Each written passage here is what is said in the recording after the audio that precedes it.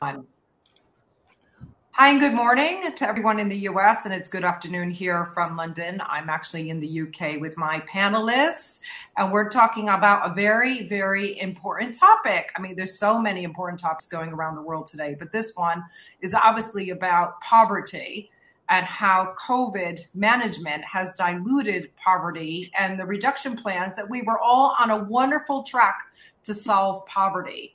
For about 25 years, it was actually declining. And now, because of COVID, conflict, and also climate change, it is dramatically increasing. Um, alone, just with climate change, it's increasing from 68 million people to 135 million into severe poverty by 2030. And with COVID, it's also increasing it by 88 million to 115 million people living in extreme poverty. That was the increase just in 2020 alone. So obviously, it's a huge issue. Um, the World Bank has been talking about this extensively. And what does it mean when we talk about poverty on a day to day level? We mean that kids don't go to school, mortality rates may be affected, malnutrition rates are affected, the quality of water, and many other indicators. So it's kind of a novel virus that's disrupting everything from daily lives to international trade. Um, and obviously, the poorest are enduring the highest incidence of the disease and suffering the highest death rates worldwide. Um, you know, from COVID, and like I said, it's it's done a huge damage we won't talk too much about you know the conflict and the, the climate change which is obvious contributors to poverty we're going to try and focus on covid and initiatives that are happening. And each of our panelists have different perspectives on this. So let me introduce our panelists. So we have Donny here and Donny is from beijing and he owns a company called four stones consulting um, and basically He's created intercultural initiatives between China and the rest of the world to help, um, you know, facilitate more successful businesses, mergers, all those kind of things that, that intercultural cross communications might do. Um, but he has a lot to say about, you know, what China's done on reducing poverty, and he works a lot with multinationals and foreign nationals. So we'll let him elaborate on his background in a bit. I just want to give a roundtable of all the panelists. Mm-hmm. Um, we then have Susan Danziger. Susan's based in, in New York. Mm-hmm. Uh, she has her own holding company called Eutopia Ventures. She backs uh, all kinds of interesting businesses, but invests in women, Black, Indigenous, BIPOC, um, she does, you know, ticket sizes anywhere 50 to 200K. She's working on climate solutions and she's working with lots of other initiatives around COVID, such as universal basic income, et cetera. And she'll obviously elaborate on that. Then we also have uh, Shea.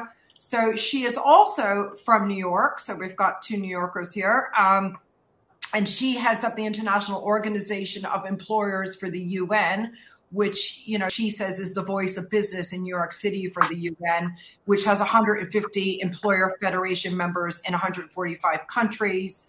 And of course, she's well aware of what this has done regarding jobs and small businesses suffering mm-hmm. from COVID. And last but not least, we have Jeffery. Jeffery has his own uh, practice. He's a lawyer in Chicago and he helps fathers with divorce and also fathers. He does a lot of private initiatives to help poor fathers. He has a lot of personal experience with this as, from his own uh, growing up and he's done remarkably well as an author and he's advised um, President Obama in the past. And so it's great to hear uh, what Jeffery will have to say, uh, also from a personal point of view of the importance of addressing these severe increases in poverty. So I want to first let all the panelists elaborate a little bit more on their background before we hit hit into really the topic at hand. Um, so Donny, why don't you go ahead and give a little bit more of a background? Now I can have the bio. And if you can unmute your mics, uh, Donny, that's important because we can't hear you. And Jeffery, we'll mute Jeffery if we can. Yes, great. Good morning, everyone. Horasis community members. It's nice to be back. So uh, actually, I'm from Beijing. Right now is evening now. So um, my background was uh, Sherry already talked about, I'm a, a, consultant, but I also educated in US. So I lived in US for a couple years. So I'm uh, another interesting. I I probably make the first donuts in China. So I was part of uh, joint ventures and you know setting up the joint ventures in China. So I I would get let other people that left Jeffery for for you to introduce a little bit about yourself. Okay, and it's, it's for me now. Do you want to talk anything about your intercultural work that you've done with companies or anything oh. else? Okay, so currently my my uh, professional is more like develop um, uh, cross cultural solutions or global leadership development. You know, for uh, previously for all the multinationals in China, ninety percent of our clients are multinational. But in the last five years, it's helping a lot more uh, global company, uh, Chinese global companies, and going out and uh, all the global initiatives. Okay, very good. Thank you very much. Um, Shea, why don't you discuss your background, what you're doing with the UN, exactly explain a bit about the Federation? So, good morning to New Yorkers, and good evening and good afternoon to the global world. Um, just to give a little bit of background, um, I worked at WHO, the International Labor Organization, and the UN. Um, I set up a public private partnership around apprenticeships, trying to get skills for young people and to get them into jobs. I recently moved to New York and I am now the representative of the International Organization of Employers that represents federations, chambers of employers, large and small companies throughout the world. Um, and I'm uh, delighted to be here, but I, I, I, believe, like you said, that we're um, in a time of crisis, so we need to try to find some solutions. Okay, great. And Susan, more about your wonderful background with Eutopia Ventures, et cetera. Yeah, thank you. I'm very excited to be here. And Shea, welcome to New York. Uh, uh, let me know if you need any anything here. Um, so I am building Eutopia. Eutopia is spelled with an EU, not a U, and it's Greek for a good place, not a perfect place. And I do that in three ways. I do that through investing in women and BIPOC founders and funders. So BIPOC is Black, Indigenous People of Color, for those who are not familiar with that term. Um, and uh, I invest in their funds as well as the startups that they have. Um, I also, the second way I, um, I'm building Eutopia is through a farm that we have in upstate New York where we focus and grow um, climate solutions. Um, so that's related to food insecurity, ag tech, and creating new models for farmers um, to make it work for them. And the third way I'm building Eutopia is through our learning center that we're building in upstate New York. And that also tackles infrastructure issues like affordable housing. And um, as uh, Sherry mentioned, um, we have a pilot going on that is um, it's a universal basic income pilot um, in Hudson, New York, and happy to talk more about that. Yeah, we'll touch base on all of this. Okay, and now Jeffery. Hi. So, just uh, if you could elaborate a few minutes on your background and the practice a bit, we'll get into the topic after this. You're on mute. If you could unmute your mic, let me just see if I can unmute you. There you are. There you are. Great. Go ahead, Jeffery. I was born in Chicago and I was a product of a divorced family. My younger brother grew up in an orphanage. I have an older sister who grew up in an orphanage. So father absence was of interest to me for quite some time. Uh, as a young lawyer, I started off in legal aid, Chicago Volunteer Legal Services Foundation, helping poor people who couldn't afford a lawyer and I ended up involved in a lot of criminal defense work. Eventually, I, I started uh, moving into family law and helping children, fathers. Uh, I help mothers, even though I, I, do a lot of writing focused on fatherhood issues.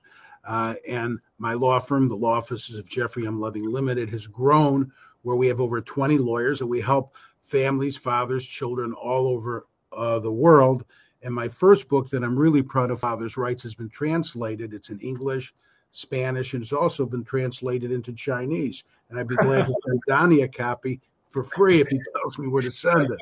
Uh, and I, and I've worked with law firms throughout the country. I worked with worked with law firms in Norway, uh, China. Uh, I've done a lot of work in uh, uh, Shanghai, Beijing, and I had a business that I closed over 20 years ago that did business in China.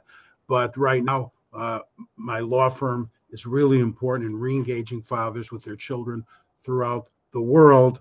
And I also chair the Illinois Council on Responsible Fatherhood, which is a government entity in Illinois, and I chair it at the pleasure of the governor of the state of Illinois. And what's interesting, uh, it was hacked. Its website was just hacked, and that was a, a little disappointing. And I hope that's that gets straightened out. But one URL that hopefully will work soon to reach it is responsiblefatherhood.com because responsible fathers are the best fathers. And uh, that's my last book I wrote is focused on responsible fatherhood. And I'm very proud that I've gotten support from the uh, uh, from uh, the former Archbishop Cardinal Francis George and President uh, Obama uh, supporting uh, supporting the book. Very proud of that book, and I write a lot of articles too that are published in various newspapers, which is hard to do. It's it just takes a lot of time, but writing is important to promoting my initiative. And I also volunteer for a charity focused on uh, Fatherhood, the Fatherhood Educational Institute, and their website hasn't been hacked yet. The only website that I manage uh, that's been hacked so far is the government website I, I manage, and I've been told that's been hacked. Um, and I also have a radio show I have a lot of fun with every Saturday, Power 92.3 FM. And uh, it's it, I do it Saturday morning and I don't know how I do it because it takes hours to prepare. I don't know how you sleep, Jeffery. I, I mean, honestly, I, I can't keep up with you. I mean, I don't know how you do it, you obviously make a great contribution, and you're very passionate about what you do, which comes across yeah. um, in your in your introduction. So now let's get to the topic at hand, right? So it's really important that we we not only say what we feel are the issues, but also what we are personally doing to address them in our remit and what we expect from others. So, if I could frame this talk around, um, let's say, what do we do to fix uh, the rise of poverty because of COVID? Um, what do you think government can do? What do you think we can do on a legal basis? What can we do as a community? And ask you all to contribute to one of the three or or or all three. Um, let's start with government. And then let's talk about, um, Donny, let's talk about the government in China, what they've been doing to address poverty. Okay, so um, thank you, uh, Sherry. But as, as everyone knows, that China uh, is a, a, very different uh, political system with U.S. So China, I would talk, because the long history. I will just talk after Deng Xiaoping took over is after reform after '79 government made uh, redu- reduction of poverty as one of the top priorities. So always. So at that time, what Deng Xiaoping did is um, to change the system to let the farmer own the land. So in, enhanced productivity. So and then that help reduce poverty. And then Jiang Zemin, he do a different things. He would do a system. A make it in to a county to identify the region to develop, and then to um, uh, uh, Hu, Hu Jintao, his aspiration in after 2000 is making China to be a moderately prosperous society. So so see, he have a plan, and then in he changed to a lot, and then in 2011, and then to, to 2000 to 2000 so it's 2000 when the pandemic hit was was the last year of China nine years plan, 10 years plans from mm-hmm. 11 to 20. So this is a very important part of the Chinese government to uh, tackle the uh, the uh, poverty. Actually, so when the Xi Jinping took over in 2012, he make it uh, reduce poverty as a top priority. So Chinese put tremendous effort, mobilize resources that I think the UN, uh, United World Bank give up, uh, have a, statistics show that China actually in 10 years invests 800 billion US dollars into the effort effort of um, re- reduction. So they're doing many many things. I give you an example of what they have done. So so that last year, uh, 2000, when academic hit, it was the last years for the plan, for the 10 years plan. So government so do a lot of things to minimize the impact of that uh, pandemic. I give you an example what the Chinese government had, you know, the fund they had do. You some, I think Sherry talked. You were very interested in one of the environment efforts.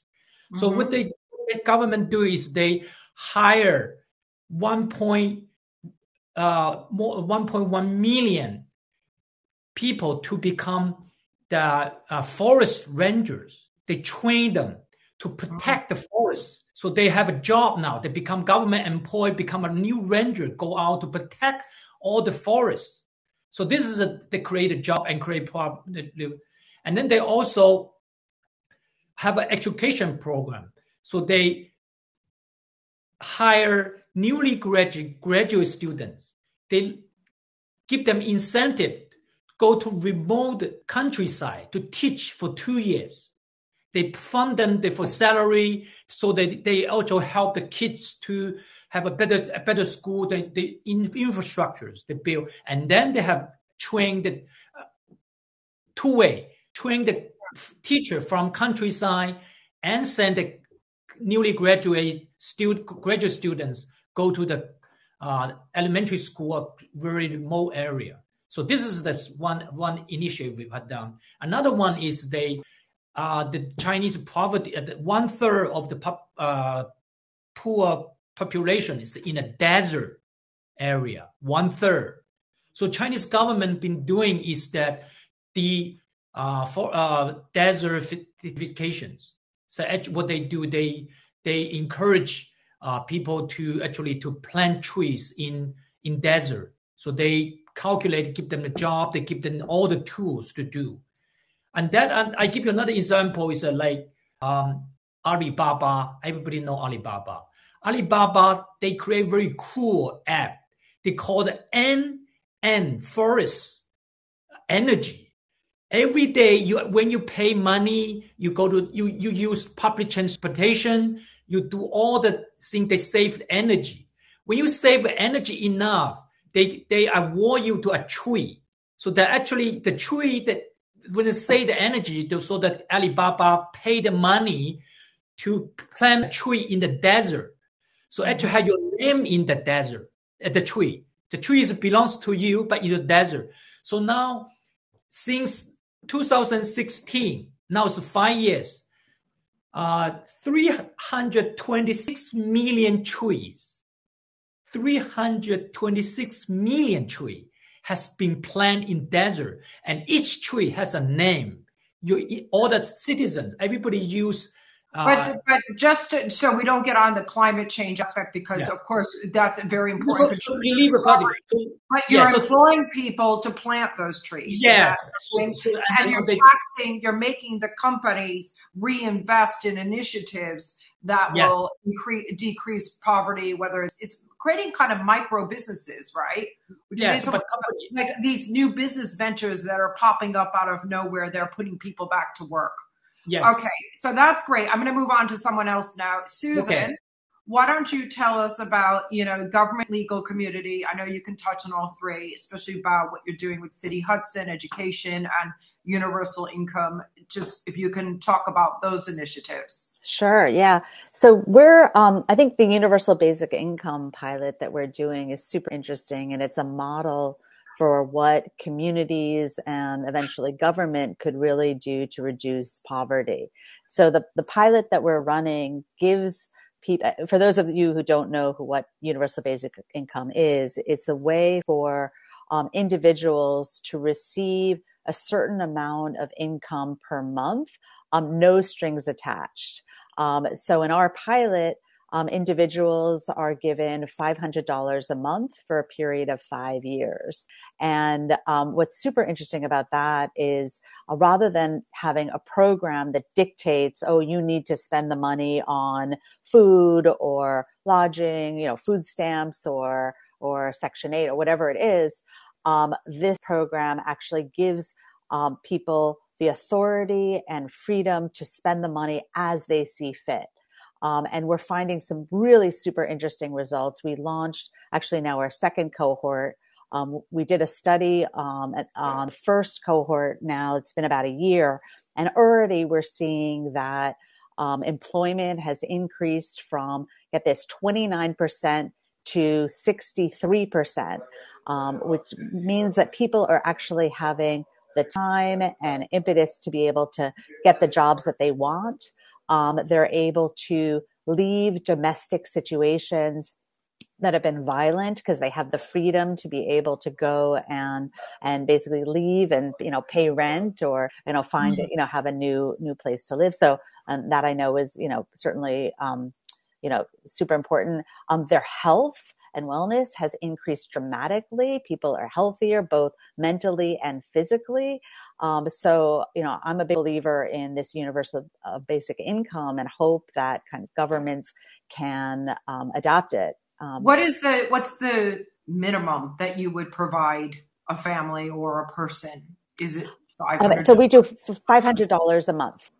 Okay. 500 that's that's our program i mean there are there are other programs that are testing whether it's $500 a month or $1000 a month or whatever it is um, and you know we have to remember we live in new york city right now which is um, obviously quite expensive but you know with um, ubi which is the short um, short version of universal basic income um, or unconditional basic income uh, people don't have to live in really expensive places right they can afford to move to smaller towns to places around the world where um, where five hundred dollars a month actually go a really long way. Yeah. Okay. Great. Thank you for that. Um, Shea, do you want to talk about some of your initiatives that you're doing to increase jobs? I know that that explain about the crisis with the loss of jobs, et cetera.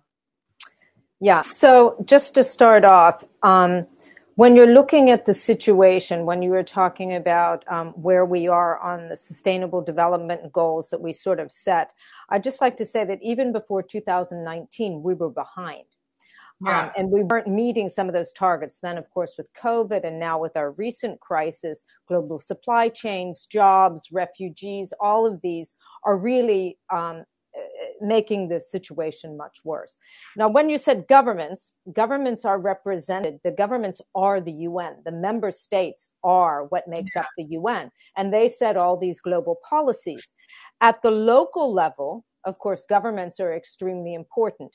Now, if I focus in on the job area, um, in order to create what we call decent, climate friendly jobs as we move into what we're calling a transition into newer and better jobs. There are certain things which really governments could be doing. Um, but I wouldn't put the blame or the the um, the uh, how shall we say the only responsibility on governments. I think the one thing that we have to say it's just not governments, it's private sector, it's civil society, it's everyone working together. And the reason why I focus on this area of jobs is that if you create a job, you feed a family. And so, how can we in these countries do, create more jobs? Now, we tend to think of jobs in the private sector as these big multinational companies. But in fact, that's not what job growth is. Most job growth is in what we call small, medium sized enterprises. And when governments are thinking about trying to get a job growth sort of um, on a on a trajectory where you're going to get more people into decent jobs one of the things you have to do is you have to think about these small medium sized companies particularly when it comes to legislation regulation legal frameworks. And so i think that particularly if we want to focus in on job growth and in these small enterprises particularly in developing countries you need to even make and educate people to understand what is a small business and what is a registered small business because in many companies people are working in family businesses which are in what we call the informal sector. So they're not even part of the formal sector. So they're not registered, they're not getting benefits, their workers are not necessarily getting the right benefits or salaries that they should have. So strengthening awareness about the interest of SMEs is important. Can I just can I just add one point there? Just um, and I want to move to Jeffery in a minute, but um, isn't it also really about empowering the entrepreneur in whatever environment they're in? Because yeah, you have a small business, but if you can find those incentives to power the entrepreneur, that's going to fuel jobs. You know, those initiatives like Susan has a fund, she she helps back entrepreneurs. And I, I, I go back maybe because it's I'm an entrepreneur, but if you really want to create jobs, you give the empowerment to people to create businesses. And then it just, you know, and, and give them those tools. And I think that is that's a win. I mean, in the UK, we help back businesses because we have something called EIS. So you're able to raise investment. The government um, gives you a tax incentive to investors, and it helps it helps keep startups alive. So um, that's just my personal take on what you were saying. So um, it, it, can I just move on to Jeffery? Is that okay? Um, just let Jeffery have have a moment, and then we can touch base again. Jeffery, so with your wonderful initiatives of supporting fathers and the the problems they have when they become divorced or have to raise single uh, children uh, from a single parent, how how do you address the rise of poverty um, in your remit. Uh, you're, let me unmute you again. Here we go. Let's unmute Jeffery. There you go. Okay, Jeffery, go ahead.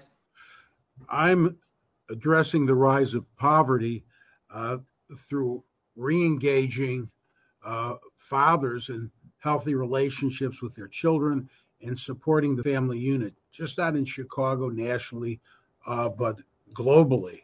Um, for instance, the father absence crisis in America is not just in America, it affects countries throughout the world. Uh, China, Great Britain. It's not limited just to the United States, but the father absence issue in America is significant because from the data from the U.S. Census Bureau, one out of four children uh, live absent uh, their dad, whether biological or non biological. And a lot of people believe, well, it doesn't matter. I think it was Dr. Margaret Mead who once said fathers are uh, biological necessities but social accidents.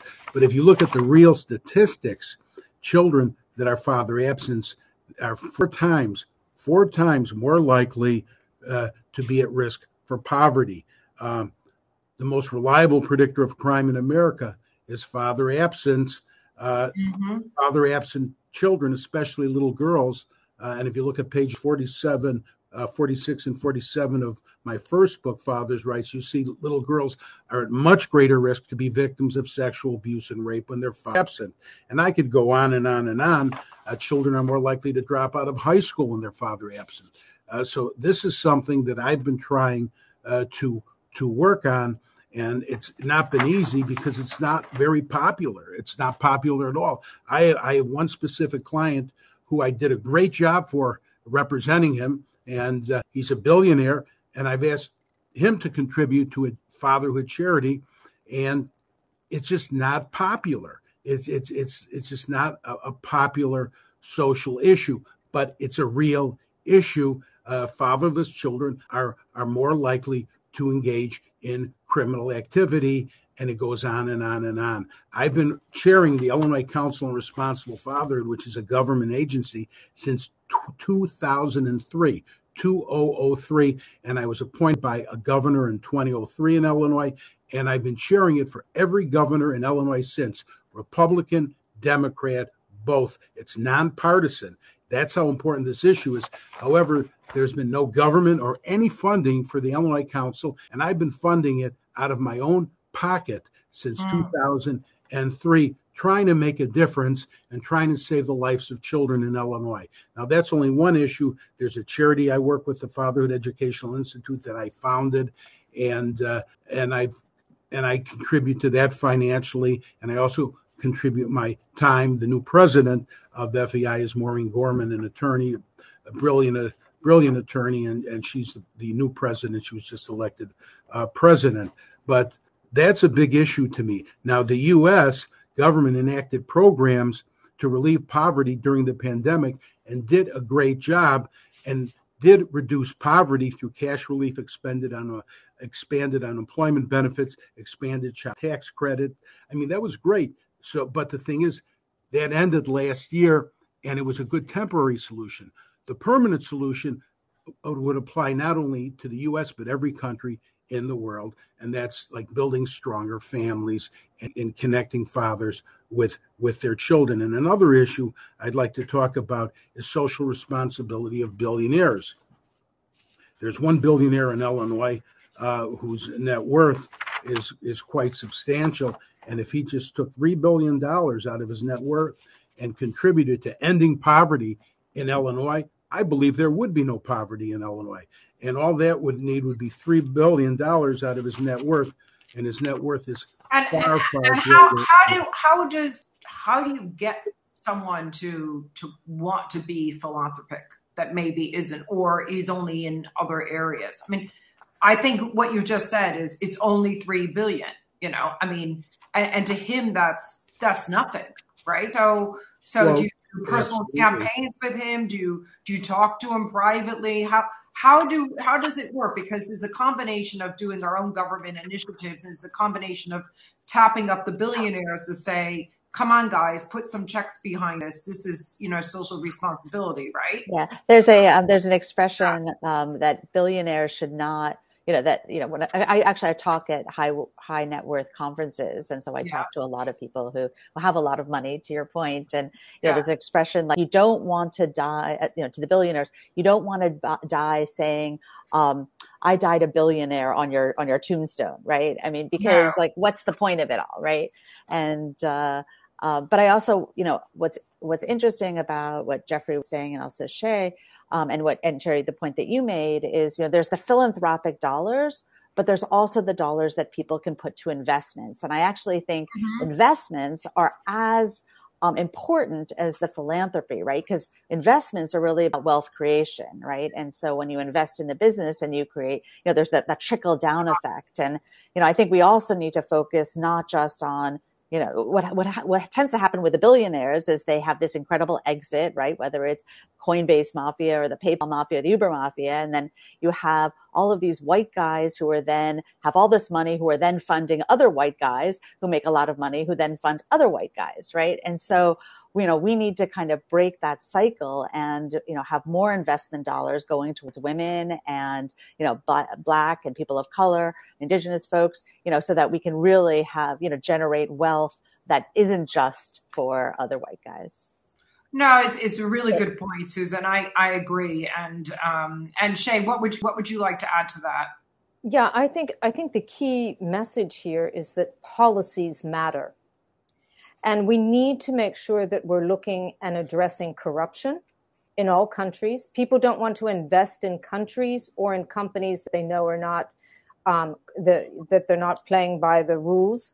The rule of law but also, even at the local level, small things matter. Tax incentives to small businesses, tax incentives to others. This is, as you're saying, this is wealth creation. This gets entrepreneurs excited. This is why people get excited and set up businesses. But policies matter. And I know that's terribly boring and I'm saying this, but we can see where countries it's working. And the reason why it's working is because the government and the workers, the employers, everyone's working together to make it work for everyone and just not for the top few that are um, actually living quite well.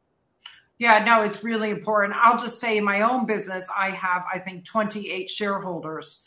I would say 12 are women Many are from countries such as Nigeria, Egypt, Singapore, um, around the world. And a lot of them are British based. And they have, like I said, this incentive, the enterprise investment scheme, where the government gives them back 30% of their investment off their capital gains or income tax they've paid. Uh, and I, I think I wouldn't have had this business if I didn't have that opportunity to incentivize investors they just they just wouldn't. And as you know female businesses uh, are the ones that get funded the least. So this really has been initiative. And what am i doing? I'm employing people. You know i'm employing people around the world not just british people. I have a license to hire people from different countries. So this is uh, helping create job creation which reduces poverty you know? And, and i think that's one of the main solutions to what we're facing, right? Donny, did you have anything else you wanted to add to that? Because I know, you know, you're you're big into recreating jobs in China and and doing this. Yeah, I think like uh, Shea is saying that the policy is very important. That mm-hmm. you know government is doing one thing. Maybe uh, I think UN is recognize China being uh, doing great job and uh, uh, moving people out of poverty.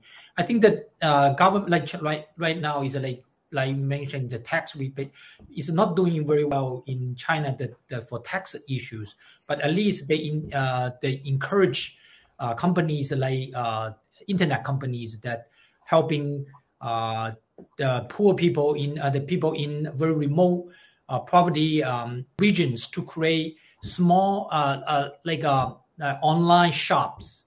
They train in, in like in one province. They have a policy. The government encourage the people the, the fundings to help.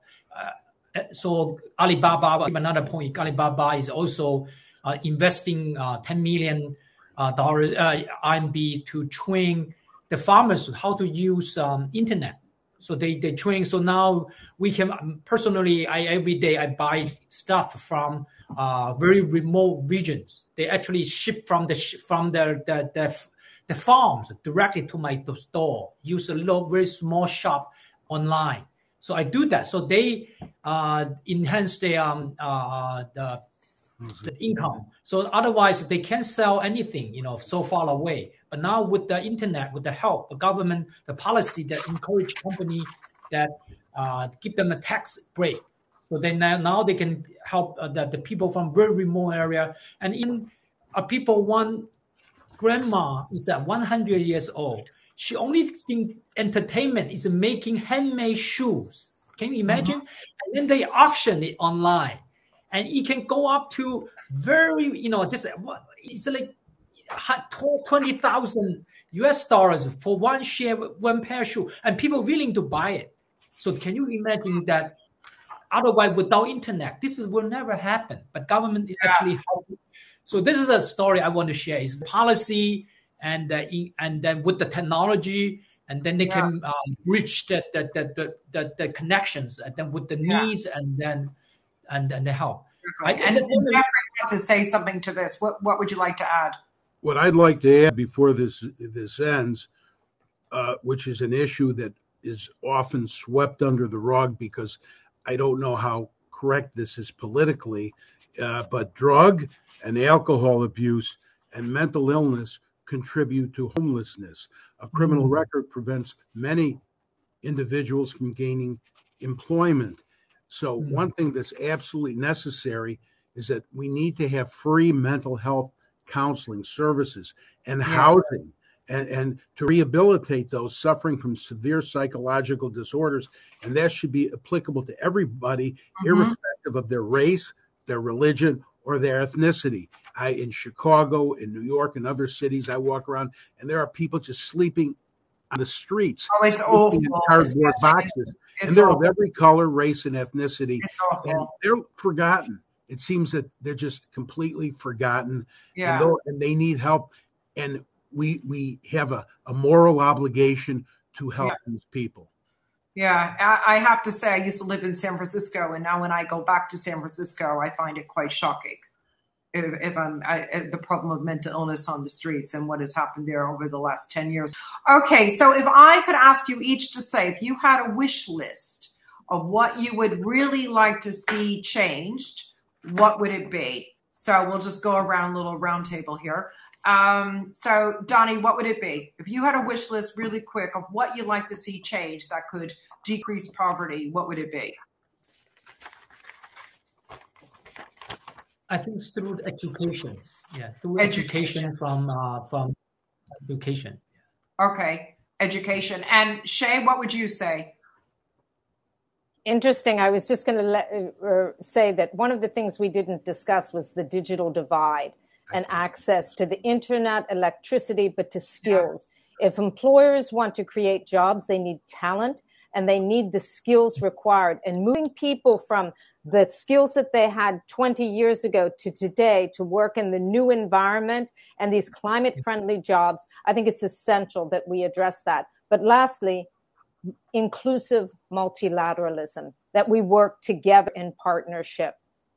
Yes, hmm. exactly, which is what you you probably do quite well with your organization. Uh, Susan, what would you say your wish list would be? Uh, well, I guess one of the things is to have the world adopt a universal basic income um, program um, so that everyone has a baseline. I mean, it's a it's a way to immediately um, reduce or eliminate poverty. Um, the second thing is I would encourage everyone to think not just philanthropy, but also investment, investment in women and BIPOC founders and funders of emerging um, fund managers. And, um, and I love the idea of partnership, of, of public-private partnership and, you know, having billionaires and, and folks that have wealth work conjunction and with government to establish policies. I mean, because together we can really change the world. Yes, that's a great message. And Jeffery, your wish list, which I can kind of imagine what it might be, but I don't want to say it. So, Jeffery, you say, what would you, if you had a really big wish list, a couple items, what would it be that to reduce poverty you like to see change? Ending father absence, so every every child in every country could have a responsible, committed father and a loving family. That would be number one. Number two would be education and job training for everyone, and that shouldn't be limited to certain segments of society based, based on wealth, ethnicity, race, or religion. Those would be my my two uh, two most important wishes. Yeah, I think I think if I had to sum this up nicely, I would say backing businesses is a way to create jobs, as we all know, but making sure policy supports that so more businesses become successful and um, can create jobs, right? Making sure that that fathers stay actively per, part of their role in the family unit, right? That does that. Getting corporations to maybe make bigger contributions to um, to, to creating new business ventures that can stop poverty, such as what you mentioned in China right? I think China now you say people can live on a dollar and 90 cents a day um, because you've put these initiatives in place and they can afford that. So those would be some of the the major issues um, and how to address them. Did I did I miss anything that we want to talk about? We've got a couple minutes left. Does anyone else want to add a point? Well, I do think that we need to focus on social responsibility uh, for for billionaires. Um, yes. And I yes. meeting with them and trying to motivate them. I mean, I I had dinner with Warren Buffett and I tried to convince him to donate money to the Fatherhood Educational Institute. I don't know if it'll work. If it won't work, I don't know. Uh, but meeting and motivating uh, billionaires to contribute is it's it's a small step, but it's a step. Oh, yes, it's a step. And it would be interesting to find those billionaires that maybe didn't have a father and somehow, and somehow they understood they're very lucky. And, and, and they I, want to give back because they can't imagine, you know, they know what it's like to grow up without a father. Target those. I don't know where you find it, but but maybe that's a, a solution there. And I, you know, as I was saying, I think backing you know, backing businesses is critical. And we're going to need to do as much as we can now that we have more crises in front of us than we've ever had. All right, would like to thank all the panelists. Thank you very much, Donny, Shea, Susan, Jeffery. Uh, we can all post this on our LinkedIn once we get the recording. Hashtag each other, keep in contact, keep building the wonderful Horasis community. And big thanks for Frank for organizing this very important panel. All right, everybody, have a. Thank you. You're welcome. Thank you. Thank you. Great. Thank Bye-bye. you so much. Right. Bye. Thank you. Thank you. Bye bye.